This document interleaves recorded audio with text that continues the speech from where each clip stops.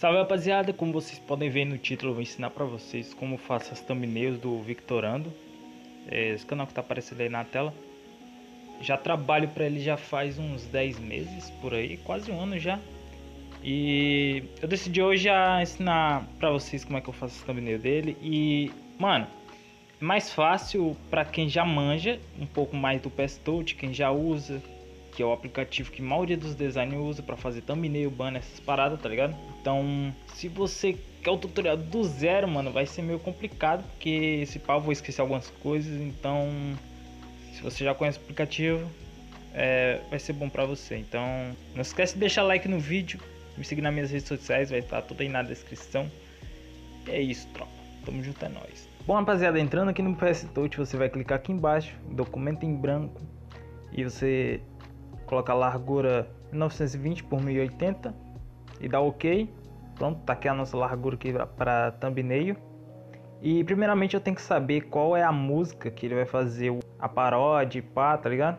Para poder fazer todo o ambiente aqui, tá ligado? Tipo, se for um funk, eu vou vir aqui em camada de fotos, biblioteca de fotos, e escolher um fundo que se encaixe, tá ligado? Aqui, tropa, eu coloco essa imagem aqui normalmente aumento ela e pá, e deixo aqui de fundo. Deixa eu aumentar um pouco, vem aqui em transformação. E fica assim, eu coloco um desfoque porque o fundo não é bem o foco da imagem, então deixo aqui no 10 mesmo, do jeito que tá. Apagar essa camada vazia. E agora eu coloco, tipo, alguma pessoa, alguns youtubers normalmente, né, de Free Fire, porque ele faz parada de Free Fire, então eu coloco, sei lá, algum youtuber, tá ligado? Tipo, sei lá, colocar o. Ó, aproveitar o back já tá de Juliette aqui, já entra no, no clima do, do vídeo, tá ligado? E, sei lá, voltando aqui, foda-se. Daí eu mexo, ó, coloco aqui um do lado do outro. Tento deixar um do mesmo tamanho que o outro, tá ligado? Pronto, coloquei aqui um do lado do outro. Vou ajustar um pouco a coloração da Voltan, que o back tá bem mais escuro do que a Voltan. Tipo assim, eu venho aqui, brilho e contraste, aumenta um pouco mais o contraste. Que vai aumentar mais o preto e pá, tá ligado? E feito isso, tropa, vou mesclar para baixo. Centralizo mais aqui no meio, eles dois. Você pode aumentar mais. Aí pronto. Tá aqui já o, os personagens da nossa thumb. E normalmente eu faço logo fundo, coloco tipo se a música for meio que aqueles funk, meio romântico, essas paradas, é, a gente coloca algum cor no fundo só para destacar mais, tá ligado? Outra, peguei esse emoji aqui do fogo, do foguinho, que né, funk, funkzão, tá ligado? Eu ia colocar umas, uns coração, mas eu fiquei com preguiça de descer até lá embaixo e pegar, tá ligado? Mas é isso, aí tipo, coloca um aqui, pequenininho, pá. Pra não ficar grudando assim, ó, nos cantinhos, você vem aqui e tira esse ajustar aqui, tá ligado? Pra você escolher onde quer colocar ele. Aí eu vou só enfeitando, mano. Ó, duplico, transformação, ó, eu viro pro lado aqui, aumenta aqui um pouquinho. Normalmente eu coloco mais dois grandão na ponta, tá ligado? Tipo, um aqui. Pra dar uma ideia de aproximação, tem um tipo na tela, tá ligado? Dupliquei, eu vou virar aqui. Vou colocar aqui porque não tá sem nada. Pronto, coloquei aqui, tropa. Eu vou mesclar esses dois. E esses dois que tá mesclado, os grandes, você vem desfoque, coloca um desfoque depois deixar o 10 mesmo, eu costumo aumentar um pouquinho. E pronto, fica os dois grandes desfocado e os outros pequenininhos fica normal mesmo, tá ligado? Eu mesclo tudo e pronto, vou criar uma camada vazia, arrastar para cima deles, venho na camada deles, aí venho nesse lapisinho aqui e seleciono os pixels, que vai marcar tudo eles, tá ligado? Agora eu venho na camada vazia, venho nesse Ezinho aqui, preencher barra traçar, coloco no tipo traçado e dou OK, que vai ficar esse, essa linha aqui. Daí, só para finalizar, mano, eu venho aqui no pincel, colocar a cor branca, o tamanho do pincel, coloco, sei lá, um 10 por aí. Para ficar no mais ou menos no tamanho dessa linha que tá aqui, ó, entendeu? Se você errar aqui, ó, sei lá, aqui, você pode apertar em voltar. Para fazer tipo uma linha aqui, ó, terminando aqui no queixo. Vou colocar uma continuando aqui o pescoço, que tem uma continuação aqui. Só pra dar um estilozinho a mais à thumb, tá ligado? E um aqui no ombro da Voltan, talvez. Pronto. Aí eu vou vir aqui, eu vou pegar a borracha, aumento ela, tirar a dureza, tá ligado? E diminuir um pouco a opacidade, mano. Pra poder dar umas apagadinhas aqui nas pontas. Pra não ficar essa ponta muito visível, tá ligado? Aí, ó, apaga assim, ó, de pouquinho em pouquinho as pontas. Pra ficar bem claro, mano. Que vai dar umas pontinhas da hora, tá ligado? E vai ficar assim, tropa. Aí, tropa. Fez isso, você vem aqui no Ezinho. Esse atenuar aqui, ó. Você pega, sei lá, isso aqui pra cima.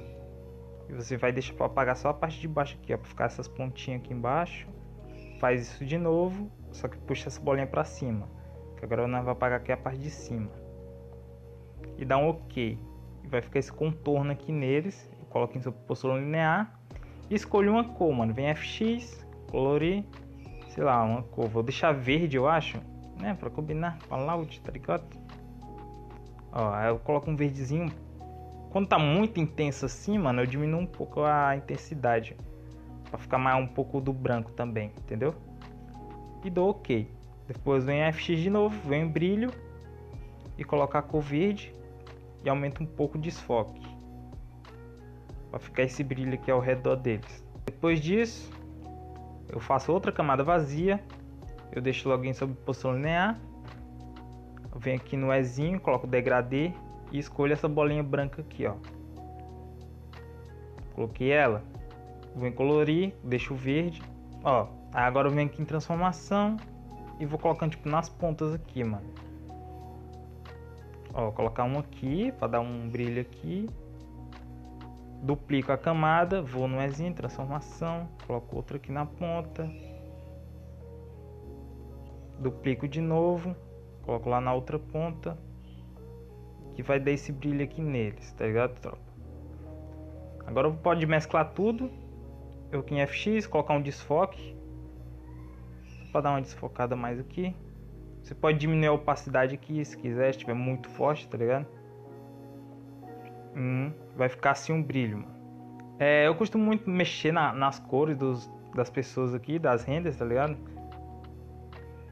Esse efeito aqui é muito bom, esse aparece HDR. Só que, tipo, se colocar muito acaba ficando feio. Então, colocar às vezes um pouco assim e tira um pouco a saturação, que ele aumenta muito a saturação. Aí eu venho em brilho e contraste e aumento de novo um pouco o contraste. É, tropa, praticamente está feita aqui a nossa thumb.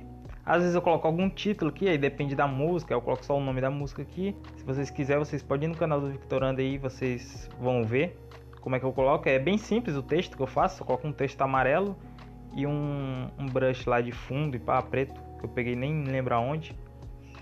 Mas é praticamente isso. Normalmente esse é o padrão de thumb que eu faço. Às vezes eu venho e coloco uma Juliette, sei lá, na voltância, se ela tiver sem.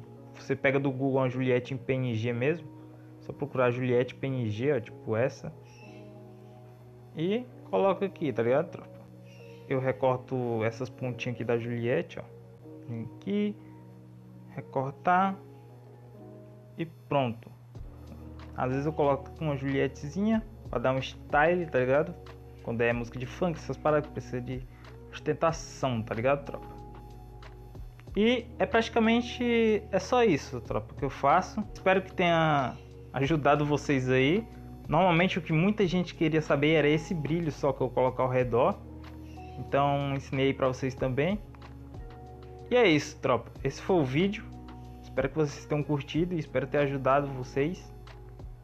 E lembrando, é tutorial avançado, então é mais para quem já manja mexendo no PS Touch, essas paradas, tá ligado? Se vocês tiverem mais ideias de vídeo, pode deixar aí na, nos comentários, que eu vou ler todos. E é isso, até o próximo vídeo, não esquece de deixar like, se inscreve no canal e tamo junto, é nóis.